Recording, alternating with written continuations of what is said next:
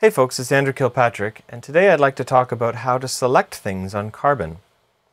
So, really basic, to select a track, you can just press one of the track selectors, that's pretty straightforward. If you want to select multiple tracks, you hold down one and then you can add more. So this lets you do things like play stacked voices, and you can also play in split keyboard mode if you have the keyboard split enabled on the tracks so that you can have the left hand go to one output and the right hand go to another. To mute and unmute a track, you hold down Shift and press the track in question, and that will mute or unmute it.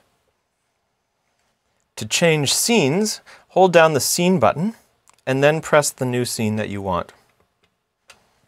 To copy a scene, hold down the Scene button, then press Shift and press the destination scene like this. Now when you switch to this scene, it will have the same data as the first scene that you were on before. To reset playback on a current track, let's say we have something running. To reset playback on the whole sequencer, you can hold down Shift and press Reset, like that.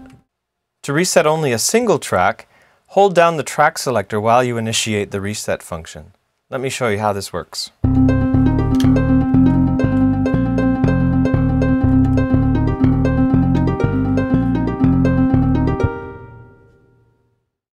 And that's pretty much all there is to selecting things on Carbon. Thanks for watching. See you in the next video.